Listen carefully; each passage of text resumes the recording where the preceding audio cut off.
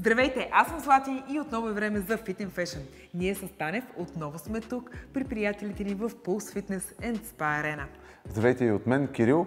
Започваме поредната здравословна сутрин с спорт и тренировки. Но преди това е време за красота и мода. Започваме! Днес ще си говорим за звездна красота. Как любимите ни звезди се грижат за кожата и за косата си. Те не винаги залагат на скъпата козметика. Понякога също като нас използват и домашни хитрини.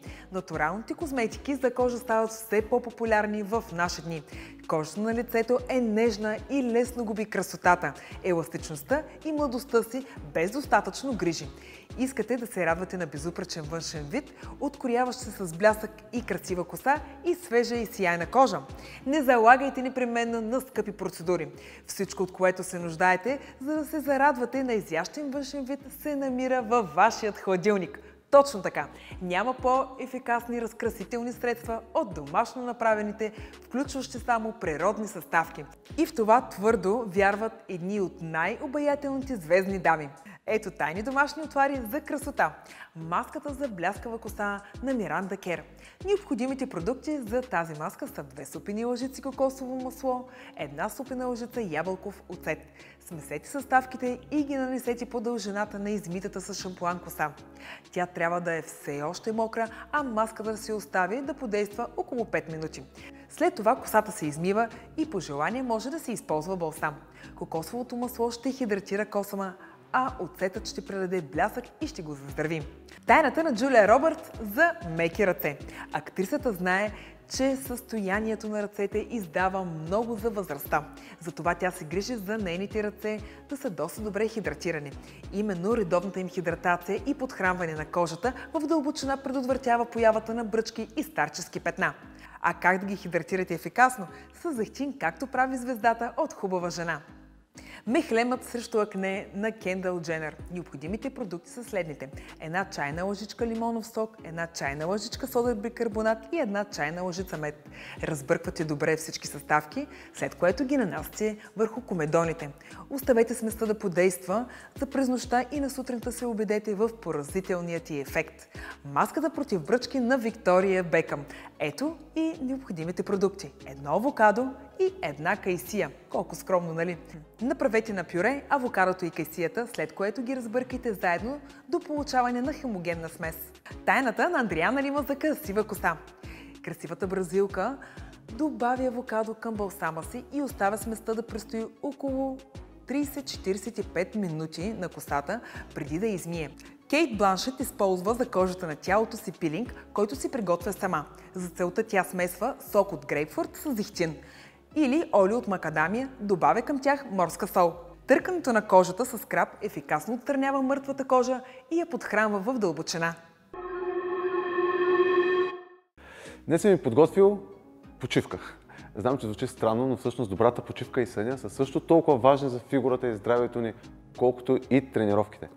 Започваме с възстановяването. Първите мисли, които минават през ума ни, когато чуем възстановяване, са може би сън, почивка, масаж.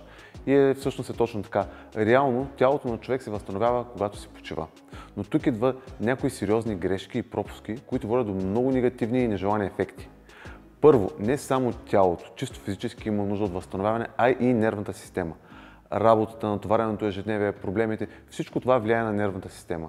Самите тренировки могат да бъдат както антистрес, така и да не натоварват сериозно, ако са свързани с гоненето на някаква цел. Затова трябва да помислим за адекватно възстановяване, както на физическото, така и на психическото ни здраве. Когато не се усетим на време или не спрем на време с стреса, негативните ефекти са много и процесът се задълбочава всеки ден. Първите симптоми за лошо възстановяване са неспокойния сън, раздразнителност, внезапно чувство за умора, повишен апетит. Впоследствие започва да идва и водната задръжка в краката и в областта на талията.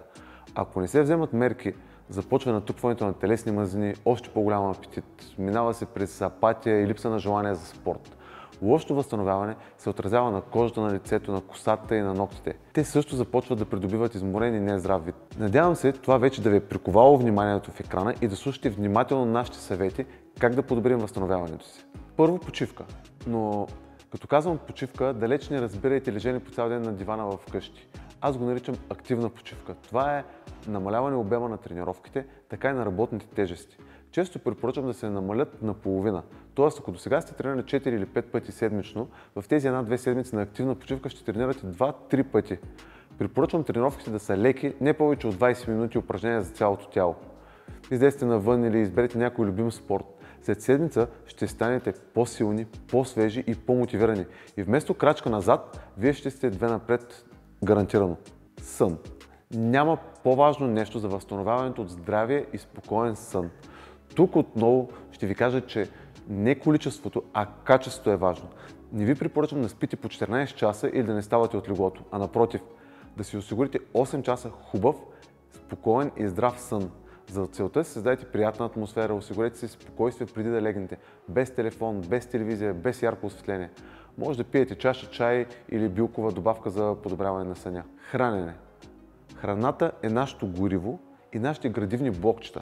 Ако не доставяме на тялото си достатъчно качествени белтъчини през деня, то няма как да възстанови мускулатурата си. Ще навредите на кожата, на косата, на ногтите си. Въглехидратите са нашето гориво. Много хора ги отричат, спират ги, страх ги да ги консумират и резултатите липса на енергия и тонус, по-мека мускулатура, липса на желание за спорт, отпадналост през деня, лошо настроение и всичко това не само, че не ви помага, а ви вреди както на формата, така и на здравето. Полезните мъзни също се пропускат често, а те са неизменна част от диетата ни, за да се възстановяваме правилно. Придържайте се към полезни източници и ограничете трансмазнините. Добавки. Натуралните добавки са безценен помощник в борбата с стреса и натоварването. Ние препоръчваме винаги да използвате добра комбинация от витамини и минерали, аминокиселини, омега-3 масни киселини, левзея, женшен и други адаптогенни билки. Ето това бяха нашите съвети за адекватно възстановяване. Надявам се, че повече никога няма да ги подцените и ще се поддържате към нашите простички, но изключително полезни съвети. Кирил. Тренировка за прасец. Повдигане за прасец на машина. 4 серии по 10 повторения.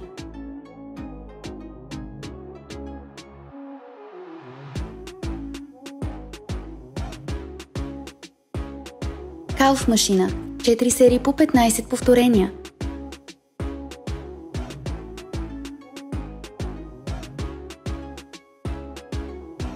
Повдигане за прасец с дъмбел в ръка. 4 серии по 20 повторения.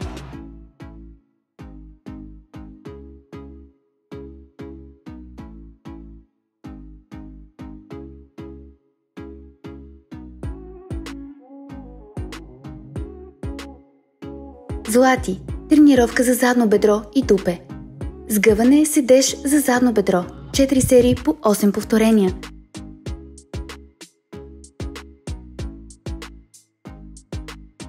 Тяга с клек дъмбели. 4 серии по 10 повторения.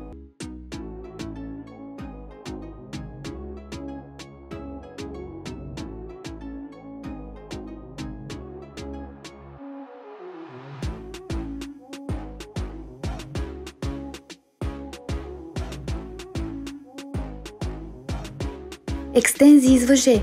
4 серии по 12 повторения.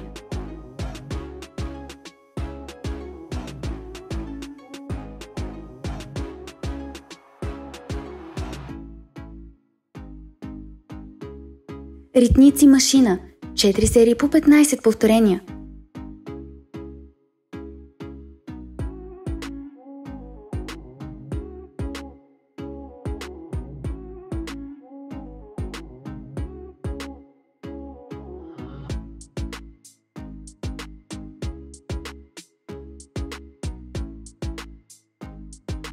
Абдуктор машина. 4 серии по 15 повторения.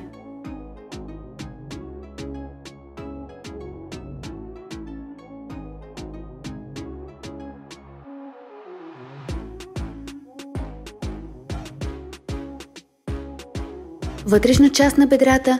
4 серии по 20 повторения.